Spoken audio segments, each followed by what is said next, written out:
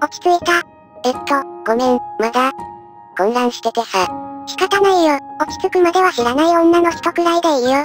パトの隅に置けないねエルネイっていう美人な幼馴染がこうやって面倒見てくれるんだから。好き好きなのはわかるけど、あまり甘えすぎるとエルネイが呆れちゃうかもだからほどほどにねそうだ、茶化さないの。パト君はまだ私を認識してないんだから。認識してなくてもだよ。妄想の世界でもエルネイが一番だもん。名前はメリアに変わってるけど。そうだ、俺はこっちの世界でこの人を。L、幼馴染、隣の家で家族ぐるみの付き合い、僕の二つ上で一度受験に失敗して一浪中、今は時間ある限り僕のところに来ては一緒に過ごしてくれる大事な人。俺の記憶には存在しない。なのに僕はこの人をよく知っている。僕に本当の意味で優しくしてくれるのは L と大かくらいだ。と思う。そう、今は冷静なのね。じゃあ今は L って呼んでくれるわね。もうメリアって呼ばれても L ネイのことだって覚えちゃったし、私はどっちでもいいけどねメリア、この人が。そうだよ、玄関で長話もあれだし、部屋でゆっくりしましょうね雰囲気も特徴も全然似てない？けど俺はこの人をメリアだって認識してたのか？はい、じゃあ冷静なうちに一緒にお風呂済ませちゃいましょう。もう4日もお風呂入ってないでしょう。え、待って僕の羽。取れたんだけど、そりゃあ取れるでしょ。おもちゃなんだから、脱着可能にできるように背中にマジックテープを塗ったんだからね。はいはい、それじゃあお風呂行くよ。お風呂中に発作が出たら危ないし、今更お互いの裸を見てもって話でしょ。息の悪いね。さすがに実の兄と一緒にお風呂に入るには抵抗が高すぎるお年頃だからね。エルネイに任せるよ。この紙質いつも苦戦するわね。なんでこうもこもこしちゃうのかしら。あのさ、L まで裸で入る必要ある。別に必要はないし、解除だから問題ないけど、濡れるし、どうせ着替えるなら裸で私もついでにお風呂に入った方がいいでしょ。いや、僕も17だし、その、お年頃というか、目のやり場に困るというかその、今から言われても、妄想の世界だと結構当たり前みたいじゃない？思春期さん。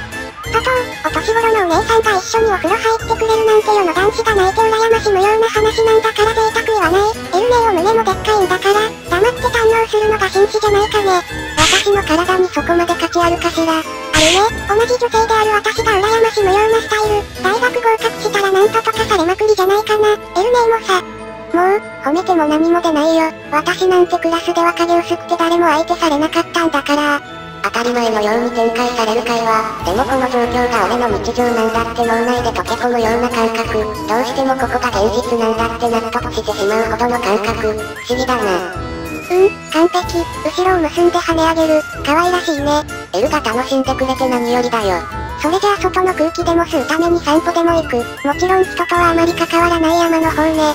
外、外に出れば術中から離れられるかもしれない。そうだな、今日は体調もいいし、外に出よう。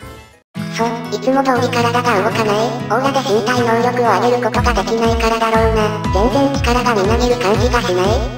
そんなに張り切って、すぐにバテるよ。ついさっきお風呂入ったばかりなのに。ねえ、僕ちょっと妄想と現実が混ざってて認識があやふやなんだけどさ、結果やろか、父さんや母さんは何をしてるんだっけ月花ちゃんは東京の新生女学院で今年で高校3年生。確か生徒会長だったわね。あの子は何やらせてもできる子だからね。確か日本で一番偏差値が高い東京大を受けるらしいわね。すごいわよね。ロカちゃんも中学受験成功して盲信聖女学院中等部の2年生だったかしらね。あの子も賢いからきっとせっかちゃんと同じ進路に行くかもね。せっかちゃんは地元の私立愛花高校にスポーツ推薦入学だったわね。あの子剣道で全国で成績を残してるくらいすごいからね。勉強は大変そうだけど。東野おじさんはもともと警察官だったけど片目を失うほどの怪我をしてからは辞職して家用である神主をやってるわよね。もともと高校までがそういう学校で卒業してから警察学校に入ったらしいわよね。レイカおばさんはお医者さん、もともと大きい病院にいたけど、今は訪問介護権医者として独立してるわね。本当美魔女って感じで老いを感じないくらい綺麗な人だよね。私は中学浪人、だけどひっそりとネットでゲーム配信とかラノベを書いてるからいつか売れてやるもんね。それで僕はそもそも受験にすらありつけない本来なら高校2年生くらいの年齢。僕だけ積んでるな。大丈夫、治らない病気じゃないし、色々手段はあるよ。そうそう、時間がかかるだけ。だから今は安静に、焦ってもいいことなんて一つもないんだから。なんか自信が、ここまで離れても意味なかったし、ここまで現実的だと。確かにこれが現実なのかなって思ってしまう。ほら、もう少し歩こう。私も体力ないからね。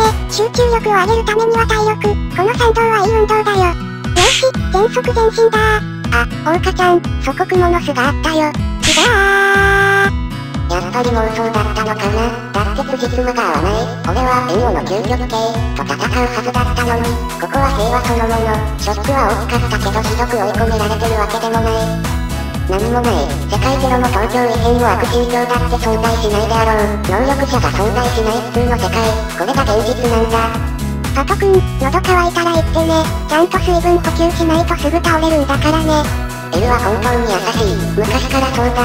すごく僕を心配してくれる。気も回るし、人付き合いもいい。なんで僕なんかに構ってくれるんだろう。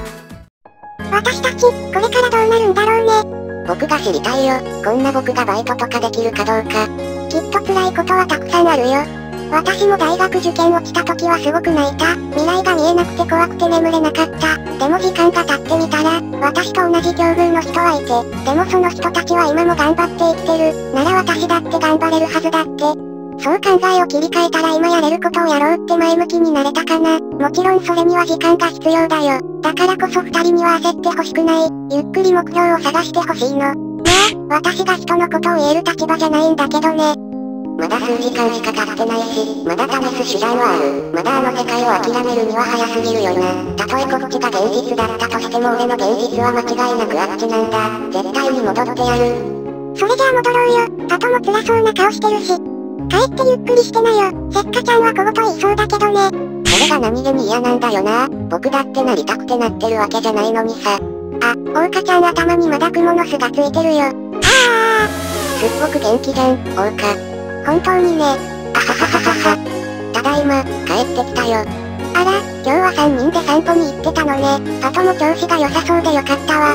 エルちゃんも食べていくわよね。せっかくだからお勉強教えてあげるわよ。ありがとうございます。では今日もいただきますね。うっし、それじゃあ FPS に潜ってきますわ。ご飯できたら呼んでね。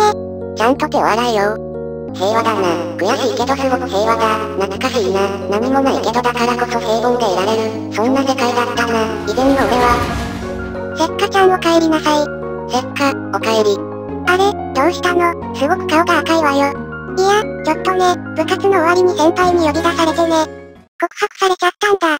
俺はこの世界の本当の意味を理解していなかった。お互いが兄弟として成立している世界。それはつまり俺と結果はこの世界では絶対に結ばれることはないということ。俺は脳が真っ白になるほどの強いショックと焦り、そして溢れ抑えきれないほどの嫉妬心に蝕まれた。結果のあの表情、それが自分以外の誰かに向く、それがたまらなく不愉快だった。だけどこの世界では俺がおかしい。兄弟に恋人ができるかもしれない。その状況でこんな感情を持っていることが異常なのだと突きつけられるだけ。俺、この現実と向き合える気がしない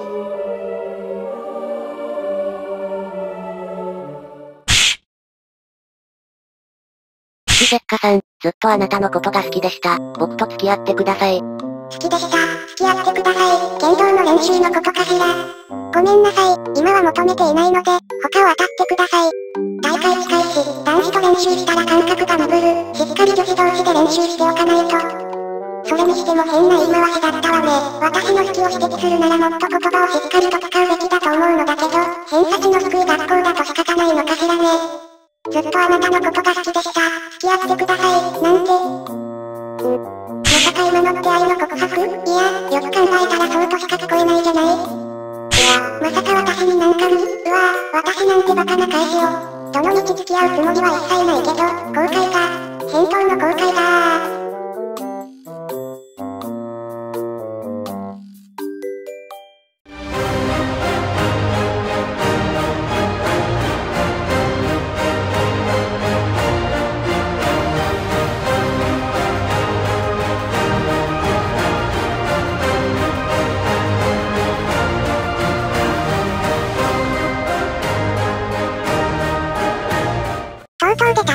脳破壊、あれは主様きつそう。だが専属神や私は常に脳破壊を食らっても早麻痺している。主様にはいい薬だ。それはそうだけど。見てて辛すぎるよ。さすがの私もかける言葉が見つからないというか。だが脳破壊中がチャンスだ。破壊された脳に私の全てをインプットされれば私だけの脳に再構築。壊れずして新たなものは生まれないんだよ見える。でも隣にいないじゃん。慈悲のくせに痛いところをついてくるではないか。バカなこと言ってないで次もどうせ主様や無から慰め会場ここで作るよ。